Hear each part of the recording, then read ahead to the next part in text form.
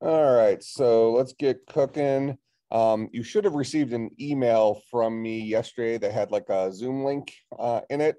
Um, I don't think we have any students this semester who are over in Ann Arbor attending the class, but I'll still always uh, run the class on Zoom because uh, I also use Zoom to record the lectures and I upload them to YouTube. So there's a link on the uh, uh, site for our YouTube lectures. Um, I don't use Panopto because it rarely works. That's what officially is the university's blah, blah, blah thingy. Um, but the YouTube thing will always work. Um, you're all adults. If you have a place better to be than here, that's fine. I rarely will take attendance, but there's always a risk of a quiz. That's kind of just my mood if I want to give a quiz or not, or if there's a high uh, uh, attendance policy that day, I might, you know, if many people aren't here, I might just give a quiz just out of retaliation or something. Um, but, you know, you're all adults. You're sick um, or whatever, class will always be on Zoom, so you can do that. Um, you know, obviously I don't know whether you're actually sick or just saying you're sick. So I encourage you to come to class in person.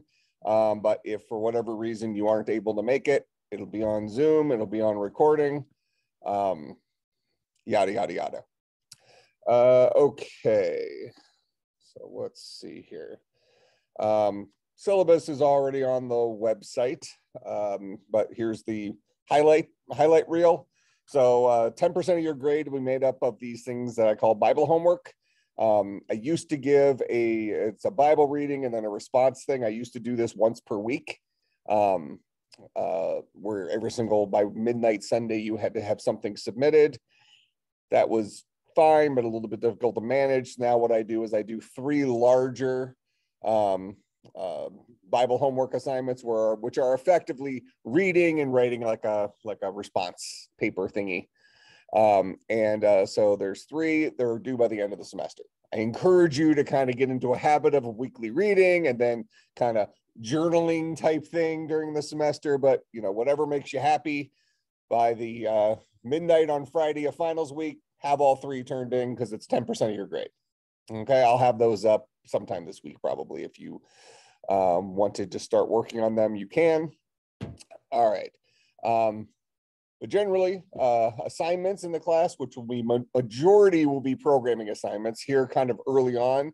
Uh, there'll be a couple of papers you're going to write as we just start getting into computer programming, and we'll start talking about that today. Uh, but there are 50% of your grade. All right. Uh, and you will have lots of homework in here, and I'll explain why here in a few minutes. Um, but I do also typically grade assignments relatively easily. Um, that isn't to let you, well, here, I'll just give you the highlight reel here. Since the majority of the assignments are programming assignments, you're going to find out pretty quickly, for at least for most of you, programming is, e is not easy. It's, it's a difficult thing. All right. Some of you will, uh, if you've had some background in it already, um, you know, you might have a leg up um, or you already have had a bad experience and, uh, um, we are concerned coming into this class. Uh, I've been uh, teaching for 22 years and I've been teaching uh, software development for 22 years. Uh, my background is in language theory, creating programming languages. I think I teach it pretty well. So hopefully you have a little bit better experience um, in here. But I like to think about computer programming as being kind of like a sport. So if any of you are athletes or have ever taken up a sport before in your life, you know, you can go out. I'm, I'm an avid golfer. So I can go out and I can, uh, you know, teach somebody how to hit a pitching wedge or something like that, and they can academically understand what I just taught them. But until they've hit hit ten thousand pitching wedges, they're going to be topping the ball, missing the ball, slicing it, hooking it, all the all this other stuff. You know, even though they academically understood it day one, until they put in the reps, until they put in the practice, it's going to be very difficult for you to do it on your own. Programming is kind of like that. So you have to put in the reps you know, it's not me just being mean, giving you a thousand programming assignments. It's I, at some point, if you're going to learn the skill, you're going to have to have put in the reps to do it. Now, having said that, computer programming is a pretty high paying thing. So, you know, it's a kind of a superpower and it's worth putting in those reps. An important concept here, though, is uh, computer programming is not computer science. It is the tool that the computer scientist use, uses to solve its problems. So kind of like a hammer to a carpenter or something, something like that. But you do need to master um, that tool, regardless of which of our concentrations you're in. Computer programming will be part of your career path throughout. Some jobs will be almost all programming. Some jobs will have, you know, 15% of the job might have some aspect of computer programming in it, but it's a skill you're going to have to have. Um, every single person in the department, regardless of concentration, will take the first two programming classes. So this one and uh, the sequel, which is next semester 250. Um, I teach them all. So if you end up hating me, that's tough cookies. But, um, you know, eh, yeah, everybody loves me. It's going to work out. So in any case, uh, I give lots of assignments. Um, but I give you uh, one interesting thing with computer programming is sometimes you might spend like five hours on an assignment and have like almost nothing to show for it. And you're like, look, I tried 5,000 different things, none of them worked. Here is a paper soaked with my own tears or something, something like that. So I have you submit this thing called a self-assessment with every single one of your assignments, kind of telling me you know what how long did you spend on this? What was your experience based on your effort? What do you think you deserve based on what you actually gave me? What do you uh, think you deserve? And then kind of show me tell me where things went wrong so i can focus in on that area of the uh, um, the assignment to try to give you some tips on maybe getting out of that next time. Uh, i do encourage you to work in study groups. So again assignments are going to be difficult. I you know, for uh, if you live on campus, that's obviously the easiest way of doing it. But with Zoom, um, you know, anybody can be part of a study group, get together, work on the homework together, do it in groups. I don't care if you're all turning in the same assignment. I'm going to find out on the exams whether you learn stuff. All right. So, um, you know, I'm not going to sit there looking for who copied whose code, things like that. Ultimately, I want you to learn the stuff, and whatever way is going to be the best way for you to accomplish that that's great. So if you have some, you know, sometimes we'll have, I can pick up some examples over the years. We have a guy who's a senior right now, and when he was in your shoes, he was probably on the weaker side of, um, you know, picking up programming initially. And he, day one, started a study group. He was the leader of the study group, even though he maybe was among the weaker links in the group, but he kind of kept the group going. They, they uh, you know worked on homework together and he learned from some of the uh, stronger students in class and now he's among our best programmers in the department. You know doesn't matter where you are today. Put in the effort. Work with groups. I mean some of you might just be independent workers and that's fine but having some of your uh, classmates working on the stuff with you you're going to make similar mistakes where when i'm sitting up here i do a lot of live programming in class it might look pretty easy when you just spend five hours on your homework assignment, and I come and solve it in 45 seconds, you know, you're going to be a little ticked off. Um, but that's kind of the point is you can spend that time and eventually get to the point where the stuff that you found difficult yesterday is going to be easy by the end of the semester and you can roll that right through your entire four years in uh, uh, in the program. All right so lots of homework assignments but i try to make it so that it benefits your grade. I i want to encourage you to put in the reps kind of like showing up to basketball practice. You're training for the big game, the two exams, let's say. Okay. Um, where I'm not gonna, you know, you know, ding you for you know a bad performance in practice as long as you put in the effort. Make some sense? Uh, two exams, one during midterm-ish week, week eight, uh, one during final exams.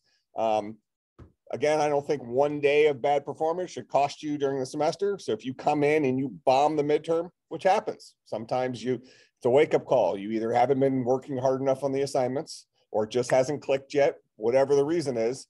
You know, if you do better on the final exam than you did on the midterm, I'll replace whatever you got in the midterm with what you got on the final exam. All right. Every opportunity to do well in the class all the way up until the last day. Make some sense? All right. So take advantage of that. Put in the hard work, put in the reps, and I promise you it'll pay off throughout your computer science degree and also in your uh, your pocketbook uh, later on when you go and uh, get your jobs and make the big bucks. All right, uh, questions about grade breakdown and that stuff. And what you're looking at here is basically the same grading scale that you'll have in every single Littman class throughout your four years. If you have me for a class, probably involves a lot of programming and it'll have this grading scale. Okie dokie. Here's that self-assessment thing. I already kind of mentioned it um, out loud. It's on the slides. I have a link to these slides up on uh, uh, Blackboard already. I also have a link to this slide. Yeah, I have a link to this slide set up on Blackboard already. Um, I also have a blank template thing on Blackboard that has uh, this self-assessment. So whenever you turn in an assignment, you'll also copy this stuff into the Dropbox for the assignment and fill it out. You know, you don't have to spend an hour filling it out. I don't need a dissertation, but give me an idea what your experience was like. Because sometimes if I have an entire class that this just didn't go well, that might uh, make me teach the next class a little different. If I thought I covered a subject okay and you know nobody really got it, then we might need to backtrack and spend some more time. Okay, I already know this stuff, so it doesn't do me any good if I just leave everybody in the dust. Make some sense? All right. Um, so this is the, the, the breakdown of, of the class in general. Doesn't really matter. We're going to hit the stuff the way we're going to hit the stuff. Um, we do have a, we use Slack in the department. So we have a uh, Slack group set up. So uh, uh, I encourage everyone to download the Slack app. You can get it on Mac, you can get it on PC, you can get it on iPhone, you can get it on Android. Um, we have all of our classes on here as uh, uh, public channels. You could also create private channels. A lot of students who do study groups, they create a private channel for their study group so they can ask each other questions, things like that.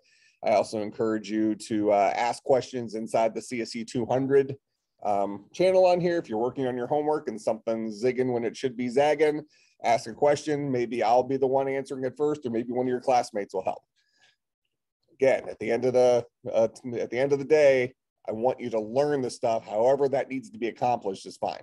I'm not looking for like, oh, so and so had the same code as somebody else. I'll find out on the exams if you've learned nothing. If you've learned nothing. Okay, so to get to the Slack channel.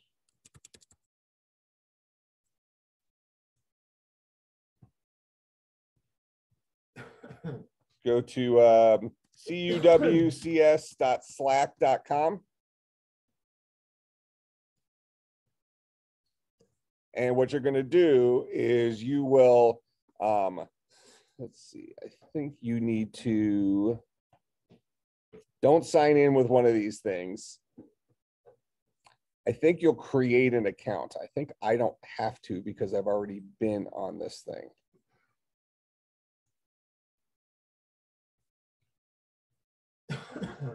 there'll be a way to create an account on here.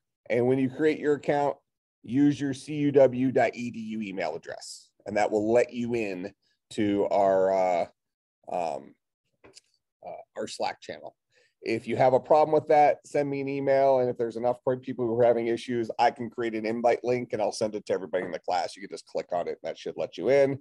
But in any case, that'll, as long as you use your cuw.edu, that'll let you into uh, um, our Slack channel, uh, upper right. Oh, there you go. Yeah, see, I was, see, he's paying attention. I was testing him. That's why I had it slid uh, for the day. For the day, you can have an egg for the day. Um, so create an account, make sure you use your cuw.edu, and that'll automatically let you into the uh, the deal. And then once you get into uh, Slack, join the CSC 200 group. You probably won't see a bunch of a big list of groups like this. I think you'll probably have to go to channels um, and maybe do the plus sign and say browse channels and find CSC 200. Um, but ultimately, you'll probably be put into the general channel by default. That's just where we post. Um, I know sometimes there's just jokes and stuff that get posted in there, whatever. There's a channel for internships and things like that. Um, so we have channels for lots of different things, and you could also send me private messages um, on there. So um, yeah, so Slack is a, is probably our official way of communicating within the department. Every single computer science student is on the Slack is on Slack. All right. Uh, and then when I send an email out, um, although when I send it from Blackboard, you probably don't see it. Um, But here, I'll give you my information.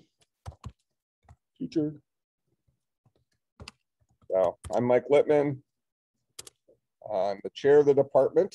Um, so you can call me Dr. Littman, whatever, but I'm not formal, so call me whatever you want.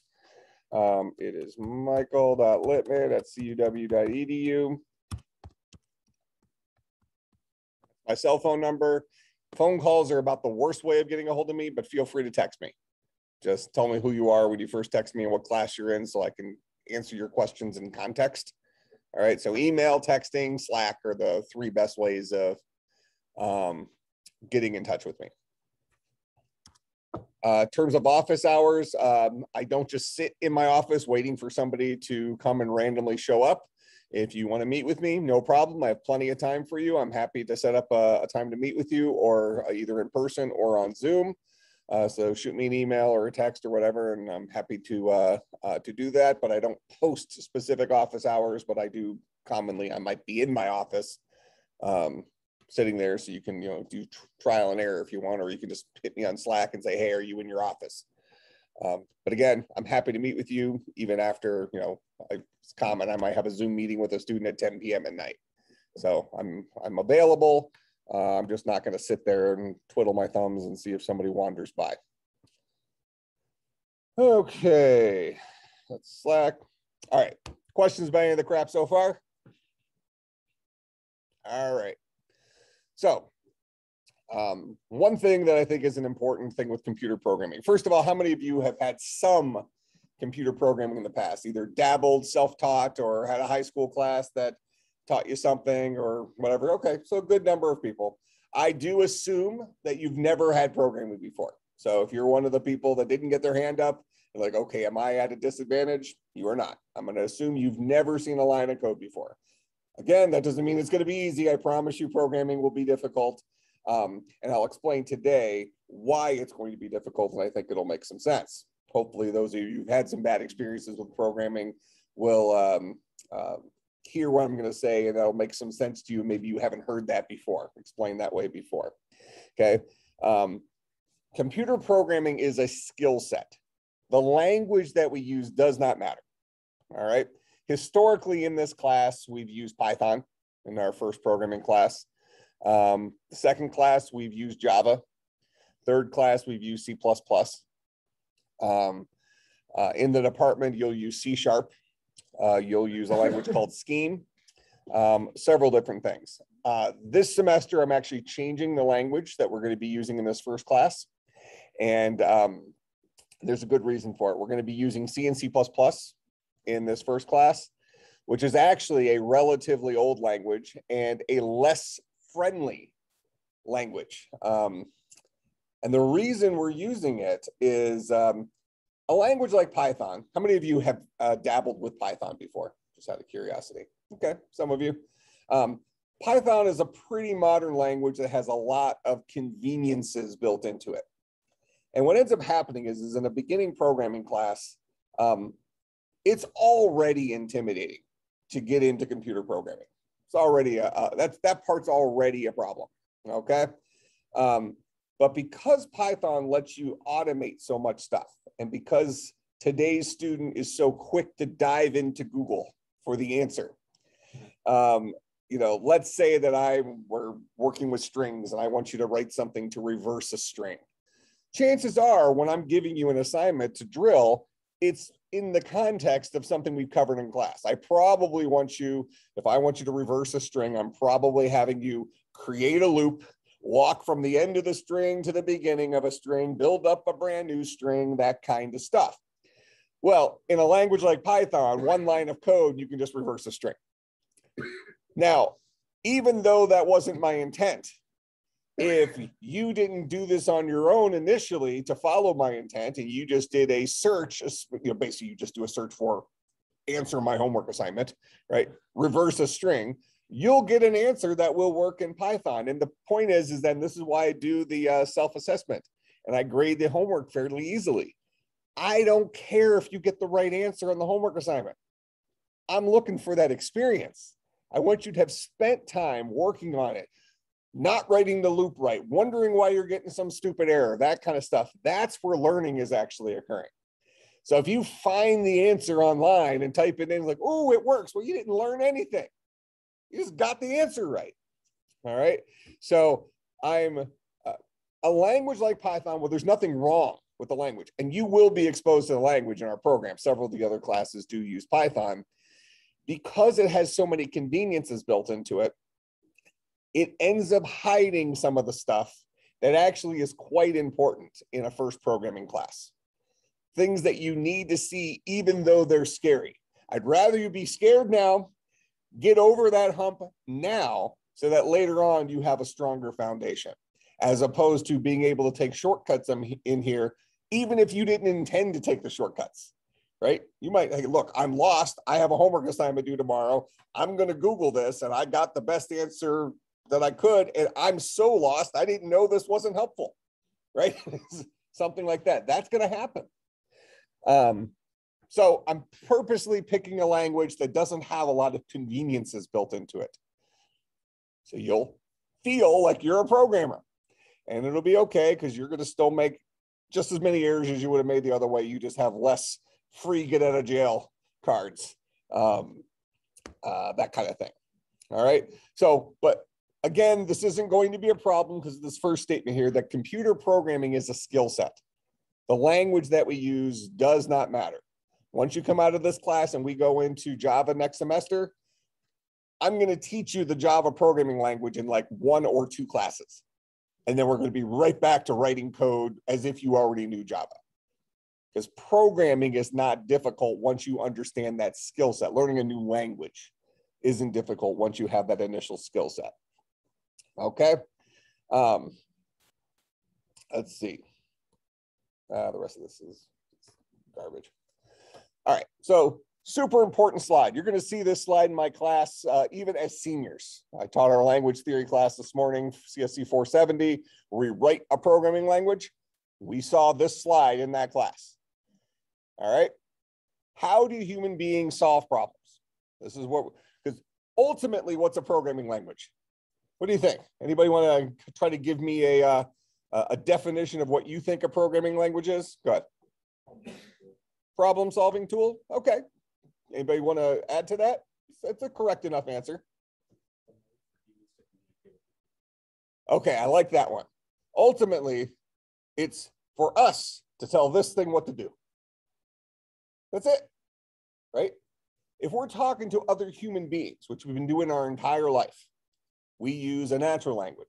So in here, we're using English because that's the only language I speak. I know enough Spanish to like order at Taco Bell. All right.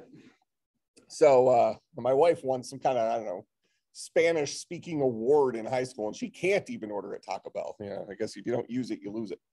Um, but in any case, when we're, we're, we're pretty used to dealing with humans so we don't use natural languages. We don't view them as a problem. Anybody in here speak uh, uh, another language pretty fluently other than English? What language we got? Hmong. Okay. Um, so when you're talking to your friends in that language, you have the same mindset as you do when you're speaking to somebody in English because you're talking to a human the words that are coming out of your mouth might sound differently and things like that. But because you're talking to a human being, you're problem solving the way you might describe how do you get to uh, um, the place where you're meeting them or something like that. That process is the same because you're talking to a human being and you need to give them the level of detail that a human being requires. Human beings can fill in the gaps in between and you know, like I'll go down three, four streets. It's like the second or third stoplight, hang a left. I think I'm the fourth house on the right, but it might be the fifth, something like that. Human beings can roll with that, right? Because we're, we're, we're smart critters, right? We can fill in the gaps there. Okay. Computers aren't. Okay. Computers are extremely precise. So, as much as we are all experts at talking to other human beings, most of us are novices at best talking to a computer. That's why programming is hard. The language isn't the difficult part. The syntax isn't the difficult part. Yeah, I mean, there's, there's some rules, but really, programming languages themselves are far, far, far less complicated than learning a natural language like English or Spanish or French. um, anything like that. Those languages are, are complicated. Okay, programming languages are simple in comparison. But because we're having to wield that language to ultimately tell this computer what to do, and we're not as skilled at communicating with a computer, it's a difficult skill to master because we have to slow our brains down and articulate every little detail when we're talking to a computer. That's why programming is hard because we're not used to doing that. Okay, so it's not that programming languages are innately hard to learn. It's talking to a computer is innately hard for human beings because we're so used to talking to other human beings, not used to talking to a computer. That's really the thing that we're trying to learn, really in all the programming classes, but specifically in this first uh, computer programming class where we're just getting started, have no experience in talking to computers and all that jazz. This guy's a hard guy to talk to because we have to spell everything out. All right. So that's going to be our difficulty. So programming languages in them in and of themselves are a tool for us to tell this thing what to do. That's our goal. All right. So the best baseline now something that programming languages do do for us even though some of us won't necessarily believe that as we start struggling with learning computer programming is that languages were designed to make life at least a little bit easier for us okay what language does a uh, computer speak natively binary zeros and ones okay um, now if you had to uh, talk to a computer in with a little two button keyboard, just tapping out zeros and ones all day long, we would go insane, right? Okay, that's not our cup of tea. Human beings make too many too many mistakes for that. We're going to learn the basics of that, like if we had to, right? Because we need to understand that as computer scientists, how binary works and how our languages ultimately do turn into that binary. But we're actually expecting these power tools. Human beings like power tools, right? we want to we want to be able to talk to our computer at this super high level even though it seems cryptic and difficult to us it's far far far easier than talking to this guy in binary zeros and ones okay so a programming language is a power tool even if it seems cryptic to us at first all right so punchline here is that programming languages attempt to have facilities built into them that allows a human being to talk to a computer in a similar way to how we already solve problems. So that's what this slide's all about. It's trying to capture the generic concept of how do human beings solve problems. We use our memory, so we remember stuff, right?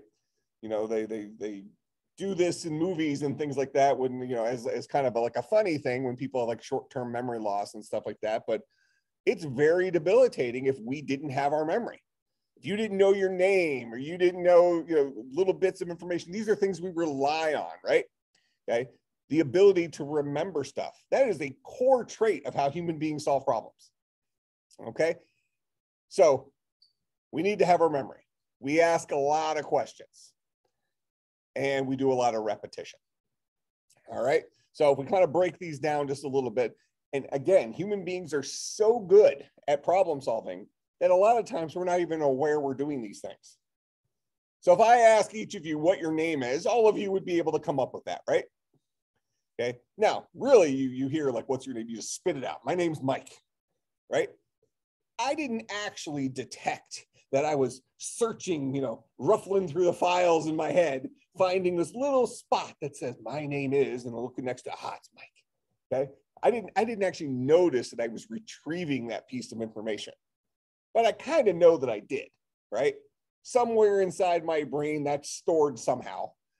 We don't have to understand how it's stored, but it's stored somehow in there. And when you asked me what my name was, I went and looked it up really, really, really quick and then just spit it out. We believe that that happened, even though I didn't really know it was happening, right? Okay. So we're going to have facilities in every single programming language for remembering things. It's a requirement. It's a requirement for how we solve problems in real life. It's going to be a requirement for how we tell a computer what to do. Similarly, How many of you, uh, when you were walking to class today, um, uh, bumped into any walls? You, you miss every person that was in your way, kind of zipped in, and you were probably texting while you were doing it, right? Wasn't even worth your time because walking is difficult, right? What if you had to teach somebody how to walk? Could you write out all the little details of how do you walk? What do you think? Somebody want to teach me how to walk? Give me the steps. How do I walk? It's not rhetorical. Somebody give me the bet. You okay? I'll get up. I'm up. Uh, that was hard enough as it was. Okay. I'm, I'm, I'm up. What do you want me to do? Pick up a, oh, well, first of all, what's a foot? Okay, we'll we'll we'll give you a baseline. We'll assume I know what my feet are, but you're already getting the point, right? Okay, so I got you. All right, this guy. Oh, which muscle? Try all of them. Just just hit them. Okay, we're kind of yeah. So we're kind of getting the point, right? So so walking generically is like okay, you pick up a foot and you start falling forward, you catch yourself, and then you let the momentum follow through and you catch yourself. But even that is a high level human beings can kind of figure out through trial and error, right? Um, so if we were talking to a computer and a computer was as complex as the human body is, with all of these different muscles that can have to fire in a certain order and all this stuff, it would be nearly impossible for us to fully describe to a computer how to walk, correct? And this is actually kind of where some of our modern research in computer science comes in with like machine learning, where we're building models of what our, our current understanding of the human brain, called a neural network, and we are training it through trial and error to learn patterns of doing things that we lack the skill to fully describe to a computer with a programming language. So we can't tell the computer how to walk, but we can sort of kind of maybe teach it to walk through the pattern and it just figures it out. You know, the robot falls over enough times, it kind of figures out how to catch itself, and all of a sudden, this thing's walking pretty well, and we don't know how. You know, my first experience with uh, with artificial intelligence was um, I don't know a couple minutes ago, um, and uh, we wrote a neural network, and uh, um, remember back in the, probably was like in second grade when you had the little the multiplication flashcards. Remember that? You know, and I, I the red ones were the hardest ones, and when I was in second grade, uh, we had to make our own flashcards. You have to make your own flashcards now, or do they sell them? Probably make them buy them at Walmart or something. But we wrote our own. We made our own flashcards and cut them out of construction paper.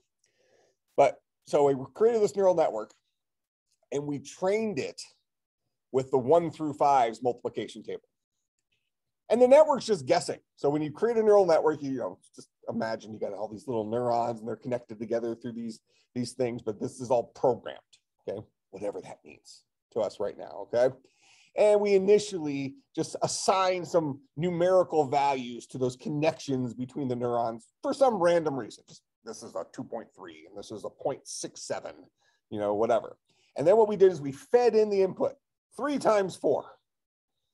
And the neural network took a guess. It just did all the math all the way through here and came up with some sort of answer and made a guess at it. Chances are it got it wrong first, right? Because it wasn't doing it based on any sort of logic. So then we did the proverbial slap on the wrist, updated the weights a little bit somehow. The one of the algorithms called the back propagation algorithm. Doesn't matter, but you know, we kind of just tweaked it. You know, little twist there, a little twist there. Maybe next time it'll get it a little bit closer to right, something like that. Kept feeding it that data over and over and over again, thousands and thousands and thousands of times, making little tiny tweaks each time until it got them all right or a high percentage of them right. Not because it learned how to do multiplication, but because we beat it up enough times and balanced it each time that it was able to magically guess the right answer, let's just say in this case, it was 100% of the time. Make sense? But then the magic was this I fed it the six through tens table and it got them all right. Data it had never seen before because I trained it on the pattern of multiplication. something that I didn't necessarily teach it how to do. But for lack of a better phrase, I beat it into it, right? and it learned the pattern of multiplication. Now, that doesn't mean we can apply that to every single example of mm-hmm. every problem we might ever solve. These are things you'll talk about in the artificial intelligence classes and things like that. But that kind of gives us that concept of there are going to be some human type tasks, even something that we think is being not overly complex, like multiplication, where it might, like math is built into most of our programming languages. So we don't need to train a neural network to do multiplication. We could just say four times three is, is you, you, get the answer, right? So, um, but we can see that human beings, our ability to tell a computer what to do precisely does have a limit. So even as I'm sitting here saying that we've had a whole lifetime of practice talking to other human beings, and now we're trying to build up a skill of telling a computer what to do, we're still going to have a limitation, right? There's going to be a point where we're trying to describe something so complex that we just we don't have the capability of getting into that level of detail. You know, we're going to make mistakes. And then we have this new field, this artificial intelligence field that allows us to kind of pick up the slack there for some problems. And it, it's like magic. It was just fascinating. It was like the, the coolest thing ever. Um, uh, you know, so those are some things we want to keep in mind when we're learning to program is the hard part, the challenge is learning how to articulate solutions to this computer because we suck at it because we've been dealing with human beings our whole lives and even if we've been playing video games and things like that, a lot of our computer usage has been using something that somebody else has done. You know, maybe we're pretty skilled at Call of Duty or something like that, right? But if you if somebody said, "Well, how does that how is that game written?" Well, that seems like magic, right? You know, it was magically created um, somewhere else. All right, so 100% of computer programming languages will have facilities for these three things. And I asked the question a few minutes ago of how many of you bumped into walls on your way to uh, class today. You know, sometimes we have one or two smart asses that say, ah. you know, but usually you're here texting, you're bobbing and weaving, missing people, and you didn't hit one wall. How? How did you avoid all the walls? How did you avoid all the people? While walking, doing this task that you couldn't even teach me how to do. A incredibly difficult task that wasn't even worth our full attention. That's how good at problem solving human beings are. How did you avoid the walls? Go ahead. You practiced, okay? So when you, um, so once you got balanced, so as a little kid, you started walking, um, the default mode was was slamming the walls. Uh, probably there's some probably truth to that actually. they hurt when you run into they hurt when you run into them. So yeah, so it's the trial and error, the neural network thing. Yeah, you stop bumping into them with your head and you start bumping into them with your shoulder. That seems to be not as good. Okay. All right. So let's say we're we're past the practice, but now is it are we all still prone to bumping into things, stepping off a curb the wrong way? You know, we still miss things sometimes, right? Okay. But in general, we're scanning our environment, right? Now, as you were walking down the hall, paying attention to your text messages or whatever game you're playing on your cell phone or, or, or whatever, were you actively thinking about, you know, what's in my what's in my peripheral vision? What am I going to hit? You're scanning the room, you know, almost thinking about like the you know the, the the movies where you know like you have like the Terminator has the little red boxes over things. you need to avoid that. So you know then you're you're pushing a little bit more in your left foot to change your trajectory just enough to miss the uh, uh, the person that's coming at you from the other direction. We know all that's happening, right? It's a truth. All that is occurring. But are we, do we actually recognize that we're asking all those questions? Am I going to hit something? Am I going to hit something? I'm going to bump into this wall. I'm going to bump into that wall. Am I going to fall over? Am I going to fall forward? Am I fall to the left? Whatever. But we believe that we are asking all those questions. And it's so mundane to us. We're so practiced at this that we don't even think about it. It's not worth it's not worth our conscious attention. Make sense? But we believe we're doing it. So as we solve problems, besides using our memory, we ask a lot of questions. because we're constantly updating our behaviors based on decision making. And at the core of decision making is asking questions, getting the answers, and responding based on what that answer was. Fair enough? All right. So then repetition. We do a lot of repetition. So uh, with the walking, once we figure out how to do with one leg, figure out how to do with the other leg, it's a rinse, rinse, lather, repeat thing, right? Keep doing it over and over and over again.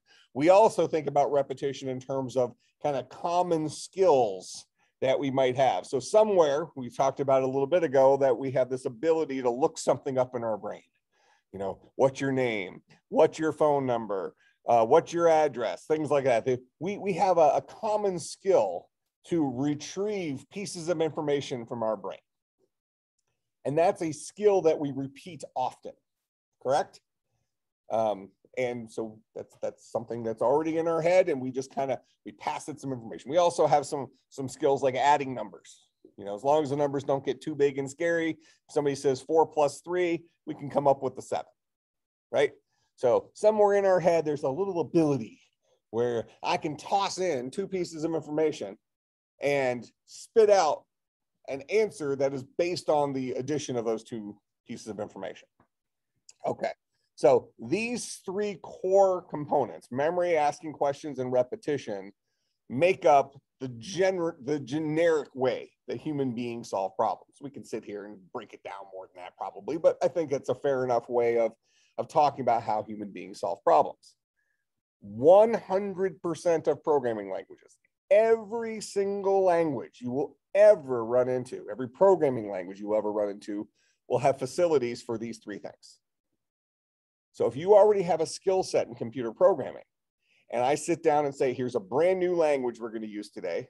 Here's how you do memory. So this next slide is going to be this mapping.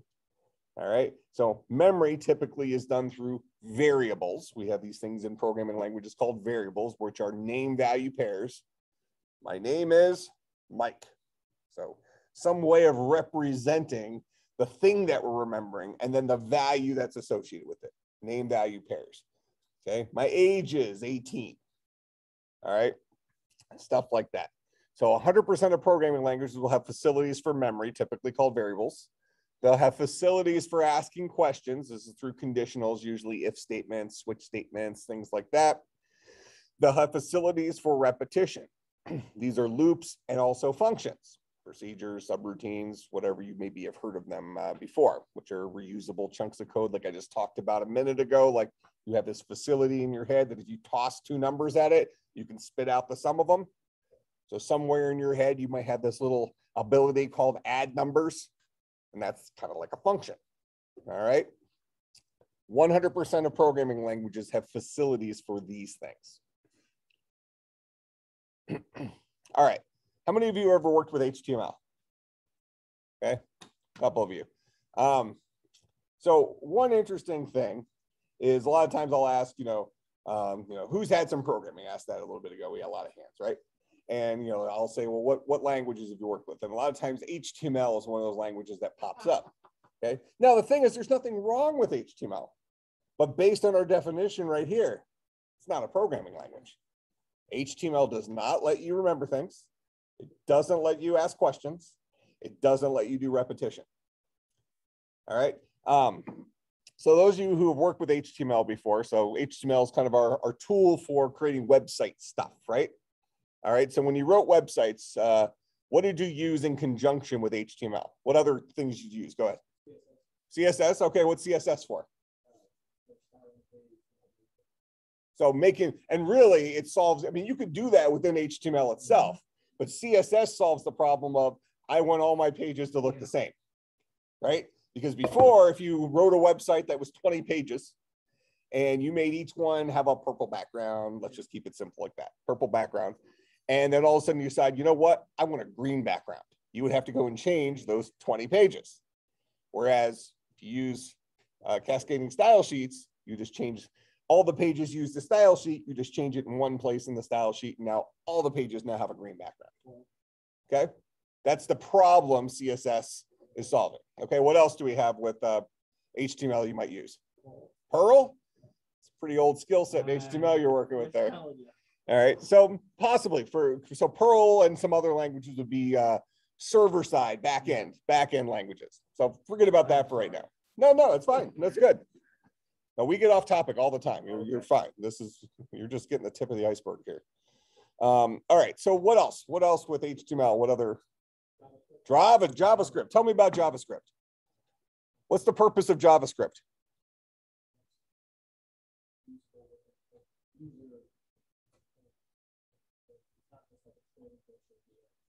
Ah, so it makes your website do stuff, not just look pretty, but do stuff. Would you say that JavaScript allows us to remember things, ask questions, repetition?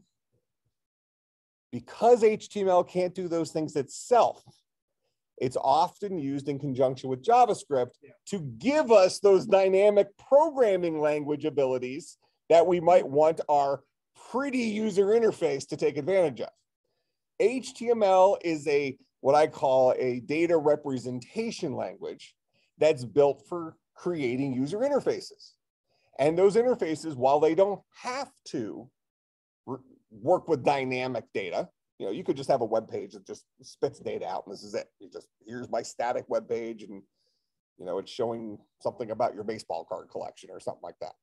Okay. But a lot of the pages we go to, so for instance, you go to Amazon or or something like that, you have to log in, you put your username and password in there. So there's there's some inputs, right? Kind of like we talked about a few minutes ago, and get two numbers thrown at you, you can add them together and spit the answer back out. So you give it a couple of inputs, you hit a little button.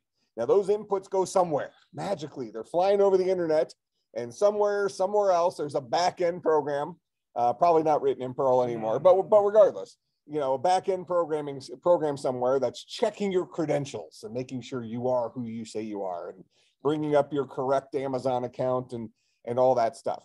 Isn't it also, uh, uh, encode your password and stuff like that on your, on your, on your computer? It can through cookies, or now most of the web browsers have some like secure Yeah.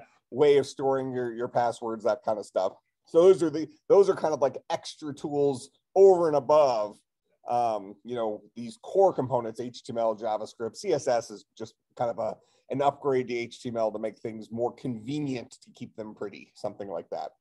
But really the, the core concept we're talking about here is HTML is how our application looks. JavaScript dictates how our application works. Okay. JavaScript gives us the ability to remember things, ask questions, perform repetition because HTML can't do it itself.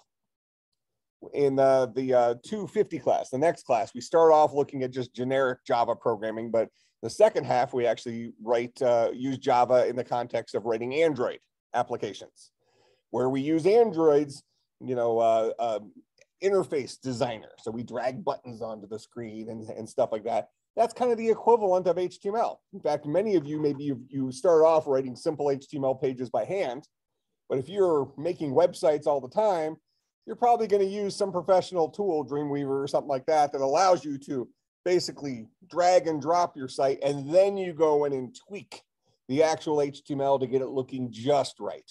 But you get it 85% of the way there with the just drag and drop tool. So that's building your user interface for a web page. Uh, Android has something very similar for building the user interface for an Android application. If you're doing iPhone, uh, the, the, the development tool for that is called Xcode, and they have a tool built into that called Interface Builder, which allows you to build your interfaces. Very Apple has very interesting naming conventions, right? Interface Builder for building interfaces. Yeah, they keep things simple. What's this? So in any case, um, you know, these things, what time are we out of here, by the way? 35, 50, 1250? Okay. I think it's gonna be an hour, and 15 minutes. Whatever, somebody tell me to shut up when it's over. Uh, cause I just keep going.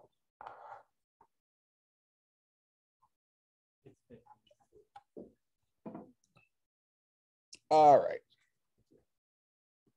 It actually happened. We have uh, grad classes we used to teach in the evenings. Now they're during the day, but uh, um, they're four hour classes once a week because it's for like working professionals.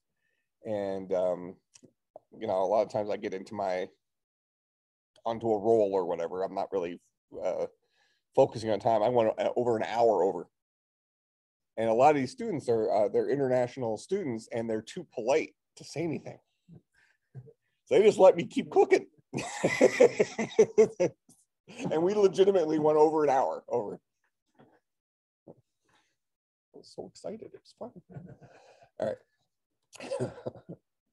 All right. So do we kind of see how these programming languages fit into our world here?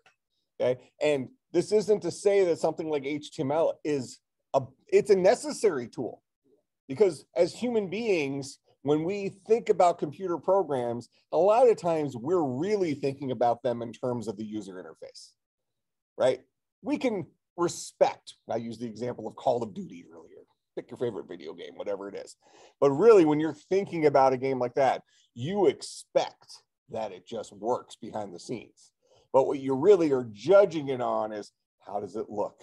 Are the controls mapped correctly? Do they make sense? Things like that. You're judging it on its interface you have the expectation that it just works. When there's a bug, oh, they're incompetent. I want my money back, yada, yada, yada, all these things. That's the programming side of it, making the things work. Yeah, the back end. Okay. So, talked about HTML. I call it data representation language, which is fine. It's a little tag based language. You got these little less than, greater than signs around the different stuff and it's a way of, uh, uh, of, of formatting your data so that the tool that knows how to interpret HTML, which is our web browsers, knows how to turn it into pretty pictures and text. That's what HTML is. It's a formatted language that web browsers know how to read and turn into pictures. All right, so we already talked about this. Why is programming hard?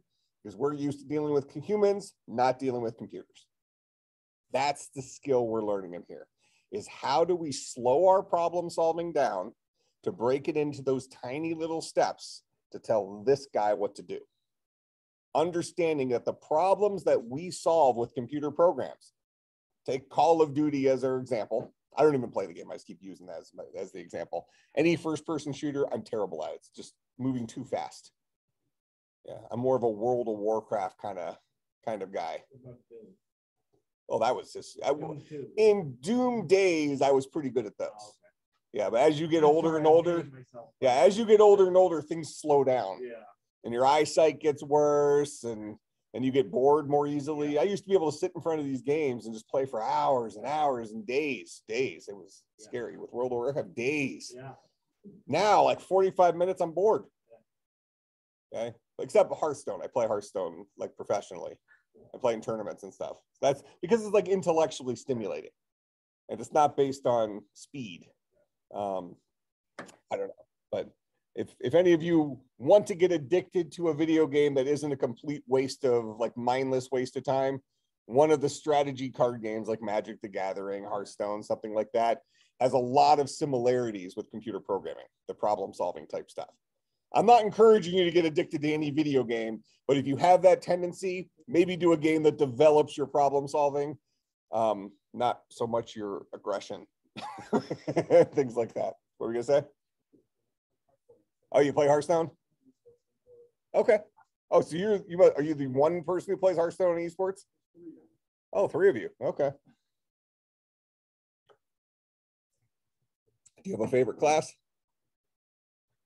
Like favorite favorite class to play at Hearthstone?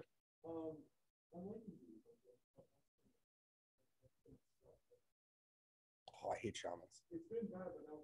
I only play Face Hunter because I can just watch Netflix and play Face Hunter. Exactly. That's why I play it. You're going to watch movies while you're playing it. You got to make it mindless. All right, we'll play Hearthstone sometime for your for your grade in the class. Now, Hearthstone's one of those games that you doesn't matter how skilled you are, you could lose to anybody. It's just because there's a lot of randomness in it. All right. Um, so we've talked about why programming is hard. Make sense to everybody? Okay, so any of you have historically had bad experiences with programming, understand that this is the core reason why. You are all really, really, really good problem solvers, but you're used to dealing with humans not used to dealing with zeros and ones. not used to dealing with the discrete nature of something like this. And I promise you, that act of just walking, the thing that you couldn't even pay full attention to on your way to class today while you were texting, is so much more complex. That problem to solve is so much more complex than the hardest, most complex looking video game you can imagine. That's trivial. Writing the writing the code for that video game is trivial compared to this problem that you've learned how to solve that isn't even worth your full attention anymore. So you already know you have the skills to do it from a problem solving perspective. You just haven't learned how to communicate with this alien here. Make some sense? All right. So keep that in mind when you start getting frustrated with programming is it's not C that you're afraid of. It's not Java, Python, pick your pick the programming language you're using. It's getting yourself to the point that you can break the problem down into the little tiny steps to tell this dude what to do. All right. All right, we kind of talked about this.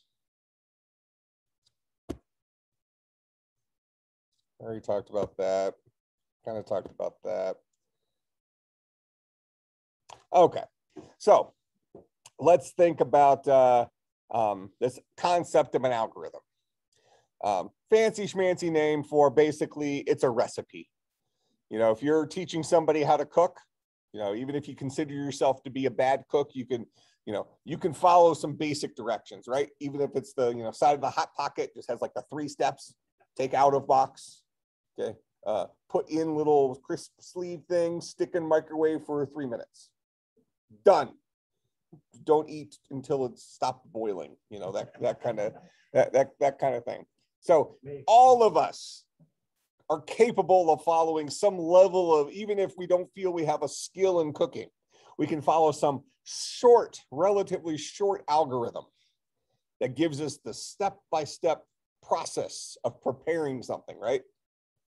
Now, those of us who have the real skill in cooking, we can we can follow the more complex algorithms where you're you're chopping stuff up and dicing and slicing and and all this stuff and preheating and you're making a sauce and a protein and all these other things all at the same time.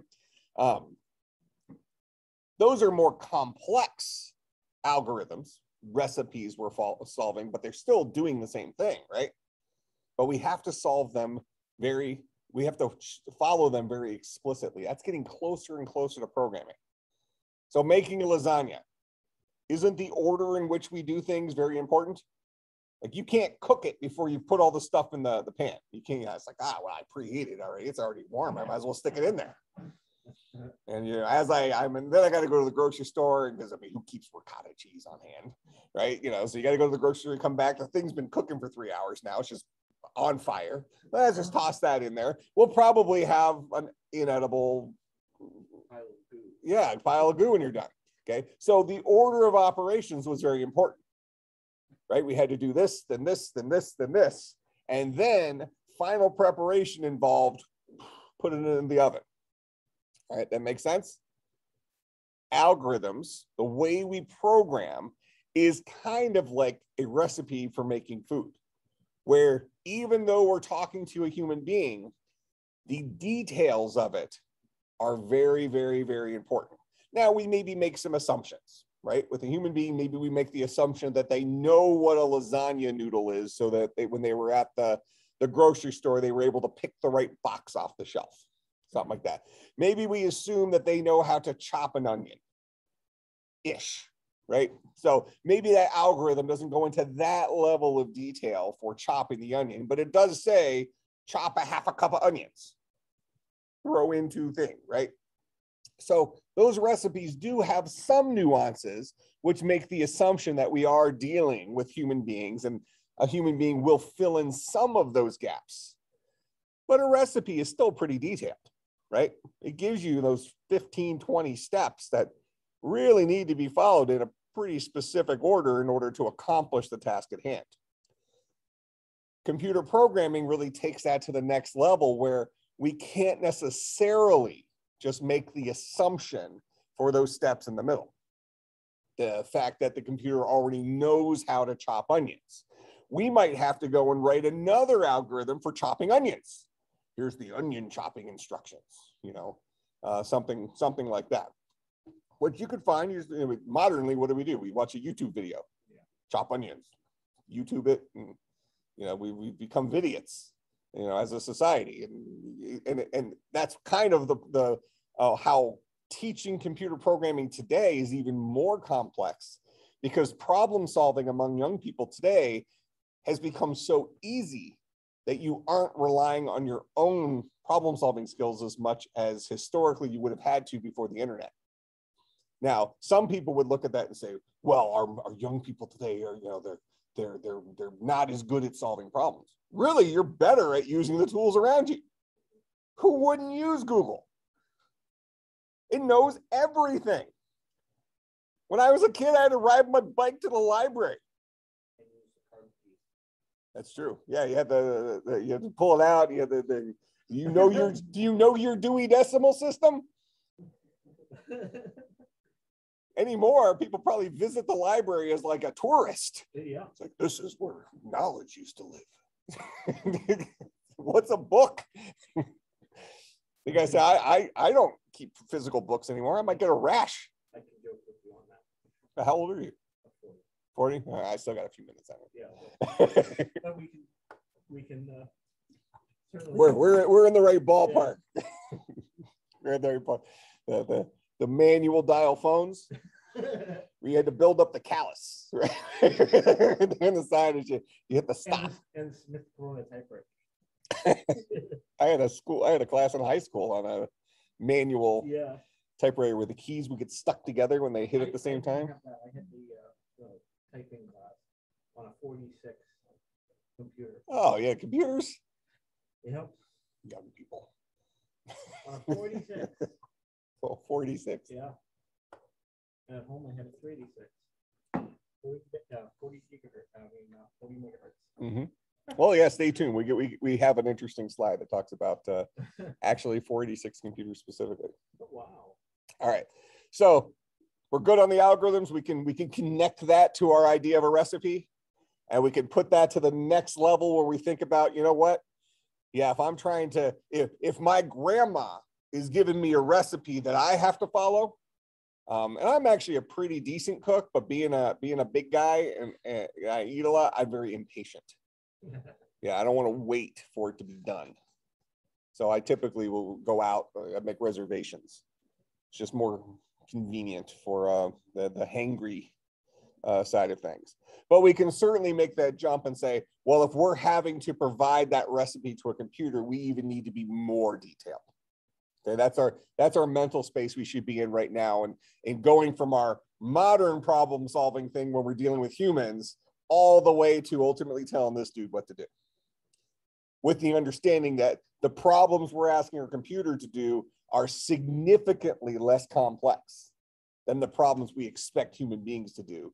Even though many of you in your head, when you think about a video game like a Call of Duty or something like that, you think of those as being really, really, really complex and almost impossible to write, when really that's a trivial task compared to something that we view as simple like walking. Make sense?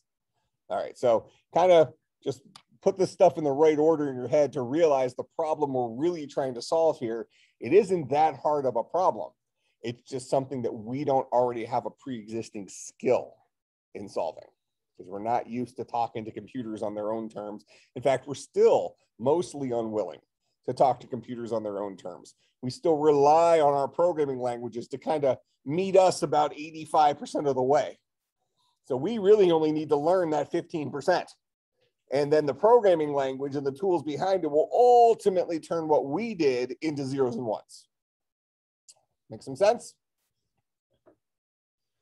All right, so uh, next bunch of slides are kind of interesting ones because what we, they, many of them say the same thing, but from different angles. So we're gonna talk about kind of the different types of programming languages uh, that are out there. So uh, because whenever you learn a new language, even though I've kind of advertised that we think about languages in terms of um, you know, how do you create variables? How do you write conditionals? How do you write loops and functions?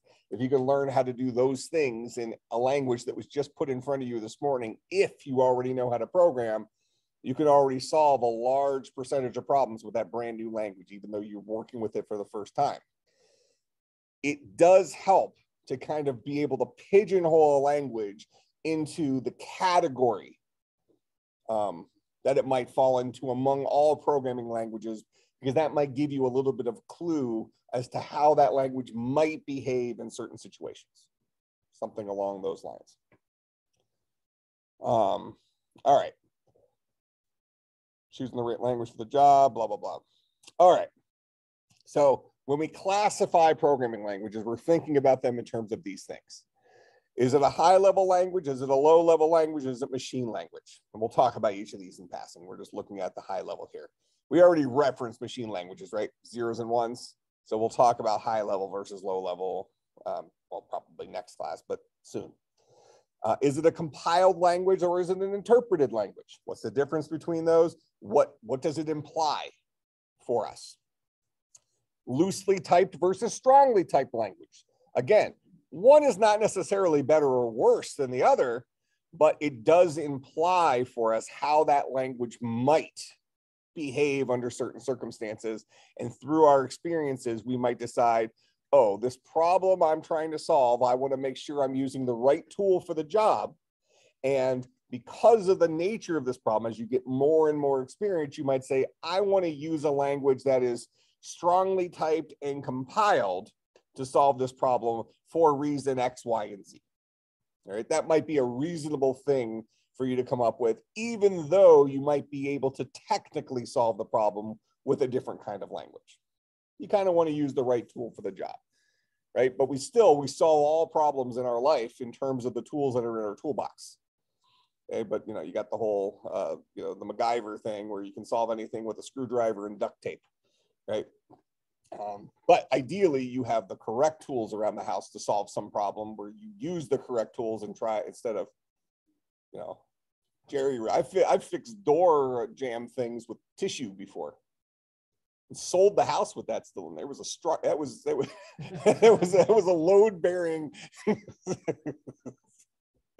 not, it's not true that, pocket knife Hmm. that, uh. It was actually a conversation my wife and I had when we were, uh, uh, we had a flood in our basement several years back. And as we were getting everything cleaned up, we, uh, back by where our furnace is down there. And I, I had fixed something with a beach towel. I don't know what, but it was around like beams and stuff. She asked the question and wasn't joking. Is that load bearing? Was this beach towel a load bearing portion of our house? And Load beat, uh, the, uh, load bearing beat, uh. And the funny thing was, it, it, it was not, not for anything above that level, but it was holding some stuff up. I was using the compression technique. Yeah. All right. Um, so loosely typed versus strongly typed, and we'll talk about each of these as we go through. Uh, general purpose versus domain specific. A majority of the languages that you're going to deal with in your career are going to be general purpose languages. So there are some programming languages that exist solely to solve a very, very, very specific kind of problem. Those would be domain specific languages. And frankly, they're usually built on top of a general purpose language. All right. But 99% of the time, as computer scientists, you're going to be using a general purpose language. So, a programming language built for solving any kind of problem you can solve with a computer programming language. And then object oriented versus procedural. One's not necessarily better than another, but our object oriented languages are a more modern language. They've, they've taken a step closer to trying to allow a human being to solve problems like we already think about problems in our real life. All right, so um, in order to talk about a computer, I think we're getting into the C++, right? Or the CPU, yeah. So ultimately, when we're telling a computer what to do, we're talking to the processor in this computer, the CPU. What is a CPU? Go ahead. Okay. So, you know, we call it, it's a central processing unit. It's, it's the brain of the computer. It effectively, anything you tell the computer to do has to go through that guy. But what is the nature of the CPU? Like, what's inside of that chip? What, what does it look like? What if you were to kind of give a generic concept of what a CPU is? What might you say? It has thousands and billions of transistors, Okay, what's a transistor? uh, ones and zeros. Um, well, they're, they're NP, uh, NP, uh, EMPs or NP. uh, N- Yeah, so you're getting to the technical side of it. What's a transistor? Transistor is a, uh, a switch, basically. It's a switch. We're we're gonna say that? Okay, so a transistor is a, is a computer program built out of hardware. Okay, so effectively, it's a computer program that either outputs electricity or doesn't output electricity. It's a switch, on or off, zero or one. Okay, and based on the, the hoops that the electricity had to jump through on the way to that transistor, different things might actually occur all sorts of stuff. So when we talk about our processors, what are our processors actually? They are a collection. I, I usually think of them like a collection of magic tricks. Okay, where each of these magic tricks is a computer program, but it's made out of hardware, transistors, um, gates, and gates, or gates, nor gates, zor gates, all sorts of different uh, Boolean types of gates. These are the things that make up the solutions to all of our computer problems.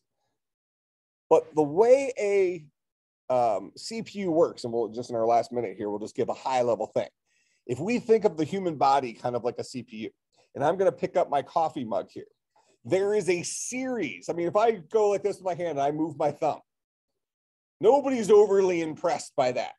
Pretty much all of us in here can move our thumb that way right? And you could also do that with your hand, right? But if I want to pick up this mug, it's a series of movements using my elbow, things like that, ultimately gripping with my hand, moving my thumb. So there are a series of little movements like this, movements like this, movements like this that I've strung together in a very specific order to ultimately pick up this coffee mug. That's what a CPU is. It's a collection of things like this, things like this that when we call upon those little tiny little solutions that aren't impressive in and of themselves in the right order and in the right quantity actual problems get solved all right so we'll pick up here on uh, thursday uh, i will upload the video to youtube if you want to go and watch it again it's a great way to put yourself to sleep at night um, i will see everybody on thursday there will be assignments, but nothing for Thursday. So no assignment yet. Uh, if you want, if you're going to do anything, maybe get yourself on Slack. Make sure you're on the Slack channel.